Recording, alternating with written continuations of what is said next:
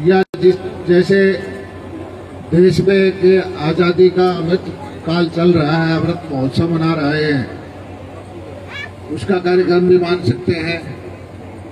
और ये तो खुशी सारे क्षेत्र को है कि एक अच्छा काम की शुरुआत यहाँ हुई है कि यहाँ कॉलेज शुरू हो जाएगा, गाँव की बेटियाँ घर से खाना खा के, गाँव के कमज़ोर तबके के बच्चे घर से काम करके यहाँ थोड़ी फ़ीस में पढ़ेंगे। और किसी भी देश के विकास के लिए सड़कें अच्छी हों हेल्थ की फैसिलिटी हों, शिक्षा के लिए स्कूल कॉलेज यूनिवर्सिटी हों इंफ्रास्ट्रक्चर का प्रबंध हो और बच्चे जो हैं, पढ़ लिख करके एक सुपारी पूरी दुनिया की एक धरोहर बने, दुनिया को आगे बढ़ाने का उनके अंदर सामर्थ्य हो। और ये भारत में हो रहा है इस वक्त। आज के मौके पे मैं किसी की निंदा करने के लिए नहीं आया। और ना ही मैं ये पीठ थपथवाना चाहता हूँ कि मैंने कुछ कर दिया। यहाँ जो कुछ हो रहा है, वो आपको दिखाई है, देता है। बिजली का आपको पता लगता है, नहरों में पानी आता है तो आपको पता लगता है, बैंक में पैसा आता है तो आपके मोबाइल पर पता लगता है, शिक्षा के काम होते हैं तो आपको पता लगता है, घूमते हुए सड़कें आपको दिखाई देते हैं। हर चीज़ खुद पता है, उसकी मार्केटिंग की ज़रूरत नहीं है। आपको जो हो रहा है आपके सामने है। और ये कोई आपके ऊपर, मैं कहता हूँ, लोकतांत्रिक व्यवस्था में कोई भी काम करे, चाहे मैं करूँ चाहे दूसरा जनप्रतिनिधि करे, ये कोई एहसान नहीं है।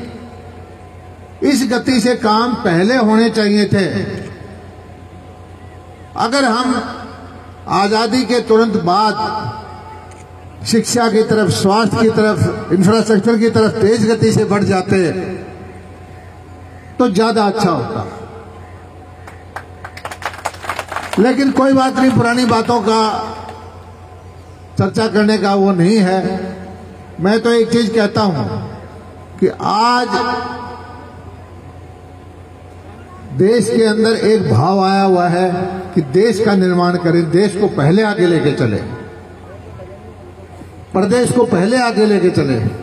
और हम जब पिछले कई सालों से ये सोचते कि मेरा ही हो आपने कोई जनप्रतिनिधि सुना तो उसको हाय लग जाती थी कि मैं ही करूँ अपना भला, मेरे रिश्तेदार का या मेरे वोटर का। आप अच्छी तरह देख सकते हैं कि इस भावना से अब जो पार्टियाँ अलग हट रही हैं, सब कोशिश करने की कोशिश करेंगे कि देश आगे, प्रदेश आगे, आमजन आगे, सब समाज आगे, गाँव आगे। और इस भावना से अगर काम करेंगे तो निश्चित तौर पर भारत विश्व की सबसे बड़ी ताकत बनेगा इसको कोई रोक नहीं सकता। मुझे ऐसा विश्वास है। कॉलेज का आज शिक्षा से संबंधित कार्यक्रम है। हरियाणा सरकार ने आठ साल में सड़सठ कॉलेज बनवाए और नीति बना के बनाए कि भाई सारा कोई किसी ने वोट दिया हो, कोई एमएलए हो, कोई किसी का हो 20 किलोमीटर का इलाका रखो 20 किलोमीटर के इलाके में एक कॉलेज हो जाना चाहिए। यहाँ मैं ज़रूर मुख्यमंत्री का धन्यवाद करता हूँ कि कुड़ल की कॉलेज की कुछ कंडीशन पूरी नहीं हो रही थी। लेकिन मैंने उनको बोल दिया, ये कुड़ल की मैंने आकर रखी है और पहले इलेक्शन से कर रखी है। छूट दे के भी मंजूर कर दिया। अब आपने इसने बताया था बलवान ने ईश्वरवाड़ का कॉलेज बना, कुड़ल का कॉलेज है, ये महल, ये इसमें लोहारू में बिल्डिंग बन रही है सत्रह अठारह करोड़ रुपए की आईटीआई में भी दस बारह करोड़ रुपए की कंस्ट्रक्शन चल रही है। दोनों तीनों आईटीआई अपने बहल शिवानी लोहारू ट्रेड बढ़ाए हैं। M A B A B tech जो बीएससी की कॉलेज की क्लासेस बढ़ाई हैं। हमारे प्रिंसिपल साहब कह रहे थे कि भाई स्टाफ नहीं है। हमने पता है प्रिंसिपल साहब जो चीज़ पे पौधा लगाया है तो बिल्डिंग भी बनेगी स्टाफ भी आएगा बच्चे भी आओगे। आप ज़्यादा घबराओ ना, मैं बैठा हूँ, सारी चीज़ें प्रबंध करूँगा। क्योंकि हर चीज़ का जो की है, ये जल्दी तो मैंने की है। हिसाब से तो कहते हैं अगले साल चला लेंगे। मैंने कहा कि अभी गाँव बिल्डिंग देने तैयार है। दाखिले खोलो, बच्चों को दाखिला कराओ। हो सकता है कि कुछ शुरू में कमियाँ हो। भाई हमारे बालका ने हो सकता है कि बिजली का बैठक की दो चार एक साल समस्या आ जा। लेकिन जब क्लास शुरू हो जाएगी तो बारह पर भी दबाव रहेगा, सरकार पर भी दबाव रहेगा स्टाफ भी आएगा, बिल्डिंग भी आएगी, पैसा भी जल्दी बनेगा। तो ये चीज़ों का व्यवस्था आगे बढ़ेगी। आज मैं तो आपसे एक चीज़ कहता हूँ। आज के कार्यक्रम में सबसे पहले जितने भाई आए हैं तिरंगा देंगे, तिरंगा लेके जाओ। और इस बार अपने घर के ऊपर कम से कम चार पाँच दिन दस तारीख से लेकर पंद्रह तारीख तक तिरंगा लगाओ। और हमें लगाना चाहिए, हमारे बच्चे, हमारे किसान के बेटे ले लद्दाख में तिरंगे के लिए 40 माइनस चालीस डिग्री टेम्परेचर में देखो क्या हाल हो रहा है। तिरंगे की लड़ाई के लिए आज हमारे नौजवान बच्चे, मैं आपको सच्ची बताता हूँ, आज मैं तीन चार बजे तक मैच देखता रहा। कल मैं गया था झज्जर, सागर अलावत, डेढ़ किले का जमींदार। उसका लड़का पहली बार गया, तेईस साल का बॉक्सिंग में मिला जी सेमीफाइनल में पहुँच गया। मेरे मुँह से निकल गई मैं मैच देखूँगा। उन्हें बाद में बताया मैच रात के दो बजे है। और रात के दो बजे तक मैं फिर सारे मैच देखता रहा, तीन बजे सोया। और खुशी की बात यह कि वो छोरा फाइनल में पहुँच गया। मैं एक लाख की उसको पहले घोषणा करके आया था। लेकिन नीतियाँ बना के भी काम कर रही है। सरकार पहले कहती है भी जो खिलाड़ी जाएगा पाँच पाँच लाख रुपए इसको दे दो। जो ओलंपिक में मेडल लाता है, उसको छह करोड़ रुपए देते हैं। नौकरी में व्यवस्था करते हैं। और आज हमारे बच्चे खासकर खुशी की बात मुझे इस चीज़ की है कि अब जो है, बारह खिलाड़ी थे गोल्ड मेडल आए थे। बारह में से सात हरियाणा के। और कुश्ती के हमारे ग्यारह बच्चे गए थे। सारे सौ बटा सौ कोई गोल्ड लिया, कोई सिल्वर लिया, कोई ब्रॉन्ज लिया। एक बच्चा भी खाली आया। अपने तीन बच्चे तो भिवानी के हैं। बेटी नीतू गण जैसे एक वे मोहित गरेवाल और एक लड़की का नाम क्या है, अंग्रेज़ी जैसा जसमीन। तो भाई ये बदलता हुआ भारत है। कभी जनगण मन नहीं बाजा करता बाहर विदेशा में। कभी एक टूर्नामेंट में एक बार राष्ट्रीय धुन बज जाए, अब बार बार तिरंगा लहराता है। तो मेरी आपसे प्रार्थना है। और खास बात मुझे एक ये हुई कि गाँव के काम में, मुझे पता है कुरल में थोड़ा थोड़ा थोड़ा थोड़ा मतभेद है, लेकिन सारे दादा इकट्ठे बैठे पा गए मैं बहुत राज़ी हुआ भाई, सच्ची बात कह बोटा में कर लो और चीजा में कर लो, लेकिन जो सामूहिक काम है ये अमृत काल चल रहा है आज़ादी का अमृत महोत्सव है, इसी तरह सारे भाई एक होकर के अपने घरों पर तिरंगा लहराएँ, अपने बच्चों को बताओ कि आज़ादी ऐसे नहीं आई है। लाखों लाखों शहीदों ने कुर्बानी दी है।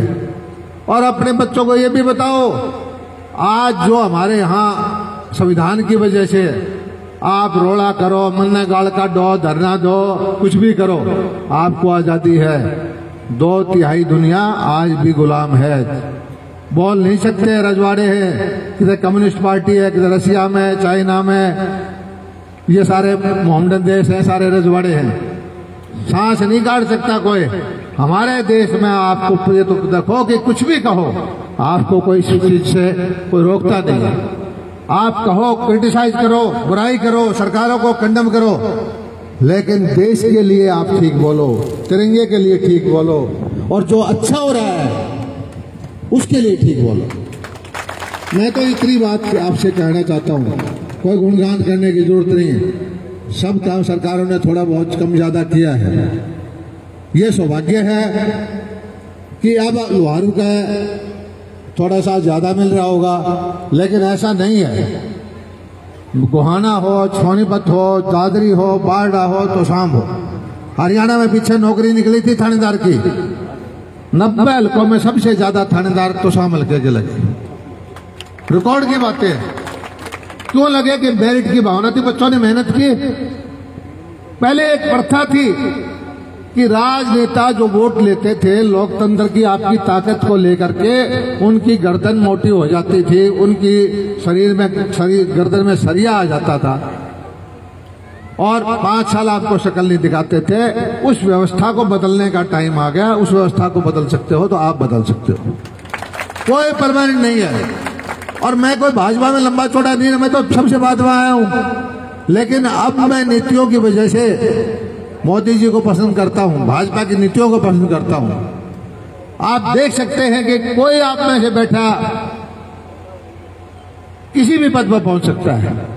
एक गरीब घर की झोपड़ी में रहने वाली मुर्मू आज राष्ट्रपति के पद पर है।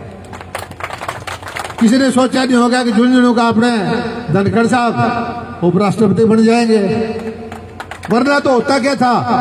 कोई चीज़ बनना है तो घर देखा करते कि ये उसके घर पे बनेगा या उसके उस नेता के घर पे बनेगा। क्योंकि तो उससे बाहर निकलने नहीं देते थे। आप एक पार्टी की एक बात तो सही मानोगे। हमारे में कमी हो। कि इस पार्टी में हर आदमी का भविष्य जो है, उज्जवल है, कोई भी कुछ भी पद ले सकता है। आज जो नीचे बैठे हैं आड़े बैठ सके हैं, और जो ऊपर बैठे हैं हम सामने आपके नीचे बैठ सकते हैं। और ये लोकतंत्र का खूबी यही है, खासियत यही है कि मालिक कोई नहीं है, जनता मालिक है। और लोहारों में मैं ईमानदारी से कहता हूँ, आप लोगों ने मुझे मौका दिया, और मैं सिर झुका के आपकी सेवा करता हूँ और आपको मालिक समझते रहता हूँ। मैं आपका नौकर हूँ। और कोई आदमी ऐसा नहीं उभरने दिया मैंने, जो ये कह दे कि जेपी दलाल का दम पे आपको प्रचोदन कर रहा है। हर एक आदमी अपनी वोट का मालिक है। हर एक आदमी सीधा आ सकता है। और कभी मैंने ये नहीं कहा कि आपका काम तब करूँगा, ये करूँगा, जब आप मुझे आगे वोट दोगे। क्योंकि लोकतंत्र के अंदर हर आदमी को अपने विचार रखने का हक है, सोचने का हक है, पसंद, नापसंद का है, विचारधारा का हक है। और इसी लाइन पर हमारी सरकारें चल रही है।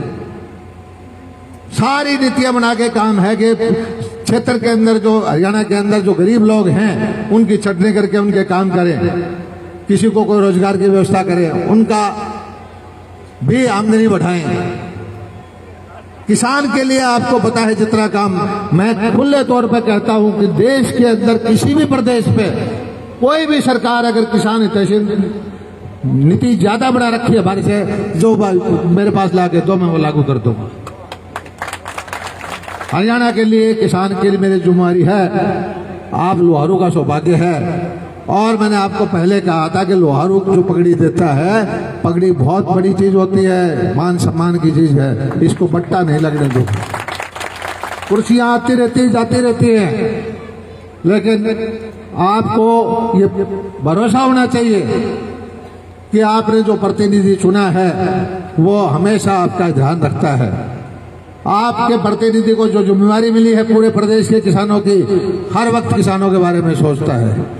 और कहीं भी कुछ भी किसी किसान को दुखी मेरी सरकार में है तो मेरी ज़िम्मेदारी है कि मैं उसके दुख को दूर करूँ। इसी भावना से मैं काम करता हूँ। आप लंबा चौड़ा एक काम गिनाने की ज़रूरत नहीं है। मिलजुल करके अपने इलाके को आगे बढ़ाएँगे, अपने प्रदेश को आगे बढ़ाएँगे, अपने देश को आगे बढ़ाएँगे। मेरी आपसे एक प्रार्थना है कि लोहारू हल्का इस बार तेरह, चौदह, पंद्रह, तीन, चार दिन तक तिरंगे से ढका होना चाहिए। और जो भाइयों, जो मुआवजा आया है, उसमें से सौ सौ रुपये, दो सौ दो सौ रुपये तिरंगे पर खर्च कर दियो। ये प्रार्थना है।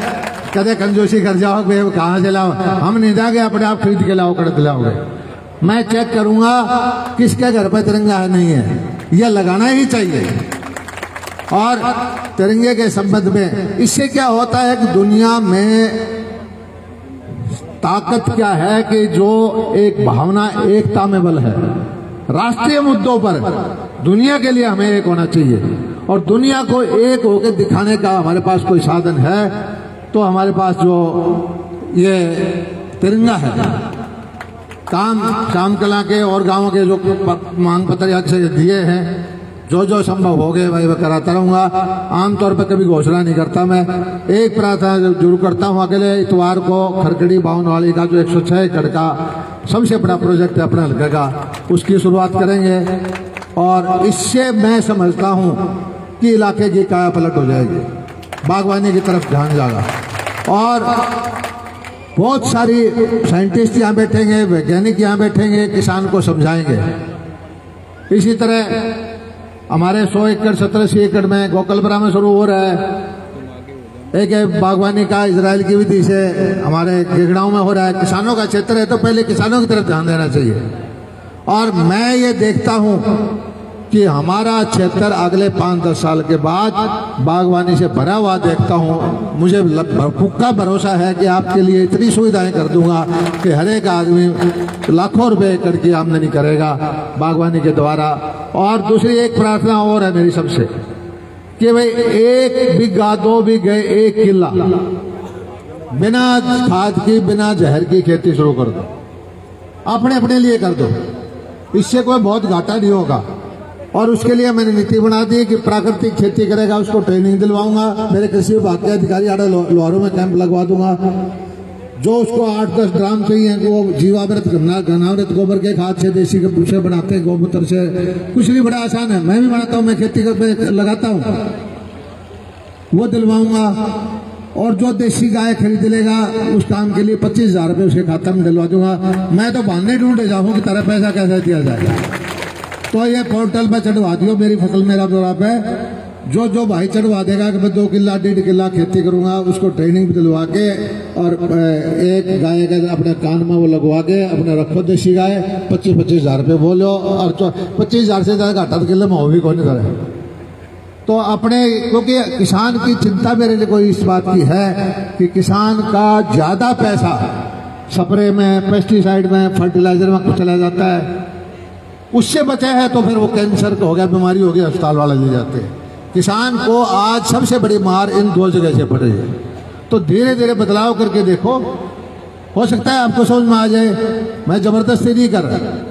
लेकिन यहाँ पर बागवानी हो, यहाँ मशरूम की हो यहाँ शहद की काम हो, यहाँ मछली का काम हो, यहाँ डेयरी का काम हो और कोई एक चीज़ और बताता हूँ, ये नौजवान बच्चे पाँच पाँच, सात सात हज़ार नौकरी के मांगे मैं ये डायलॉग बोलता हूँ तो मेरे विरोधी सोशल मीडिया पे कह जाते हैं कि ये पता नहीं क्या चल हुआ है। कोई काम छोटा नहीं है। ना मछली पालन का छोटा, ना बकरी पालन का छोटा, ना गाय का छोटा। सब में सब्सिडी है, सब में ब्याज की छूट है। अभी मैं आपसे पहले प्रोग्राम करके आया था। इस काशनी कला में। मैं कहने लगा भेड़ बकरी पाल लो, कोई बुराई को नहीं। कई जाट हासिल ना के बोला रिश्ता कौन होगा? फिर वो एक युवक खड़ा हो गया, उसमें जब वहीं पर एक लड़का, बोला, जी हमारे बीमारी आई थी, मेरा साठ लाख रुपये घाटा हो गया था। मैंने पचास भेड़ पाली थी, दो साल में पाँच सौ होगी पिछहत्तर लाख की मेरी भेड़ हो रही है, और मेरा और ईद ने सारी बेच के पचहत्तर लाख जेब में डालूँगा, फिर दोबारा पचास से शुरू करूँ। कोई काम अपने यहाँ बकरी पालन का भेड़ पालन का या चारा बनाने का भाई काम तो यहाँ वही होंगे जो हम हम कर सकते हैं दूसरा मैं हवाई अड्डा का बड़ा इशार का हवाई अड्डे को डेवलप करवा रहे हैं आठ दस हज़ार करोड़ रुपए से उससे क्या होगा वहाँ एरो डिफेंस की फैक्ट्री आएँगी हवाई जहाज़ भी वहाँ उतरा करेंगे और हमने पॉलिसी बढ़वा दी मैंने। थोड़ा सा मैं लोहारू की तरफ़ ज़्यादा देख लेता हूँ कि 50 किलोमीटर में जो फैक्ट्री लगा होगा उसको रजिस्ट्री का खर्चा भी नहीं लगेगा, उसको बिजली में भी छूट देंगे, उसको जीएसटी का पैसा भी उल्टा दे देंगे। यही चीज़ों से क्या होगा कि अगले एक योजना आई थी पहले कि भाई हिमाचल में छूट दे तो फैक्ट्री लगाने की, कालांग में फैक्ट्री लगी, उधर पिंजौर से ऊपर फैक्ट्री लगी, हरिद्वार में फैक्ट्री लगी तो यह औद्योगिकरण भी क्षेत्र को करना है। धीरे धीरे करके, लेकिन एक दिन में होने वाले काम नहीं है। हम तो रास्ता डाल सकते हैं, नीतियाँ बना सकते हैं, और इस तरह से अपना इलाका विकासशील नहीं रहेगा, विकसित रहेगा। मेरा कोशिश यह है कि लोहारू एक ऐसा क्षेत्र बने। हरियाणा में चर्चा का विषय हो जाए कि भाई, हर क्षेत्र के अंदर लोहारू पहले नंबर पे है, उसी दिशा में काम करेंगे, और मैं अकेला नहीं करूँगा, हम सब मिलकर करेंगे।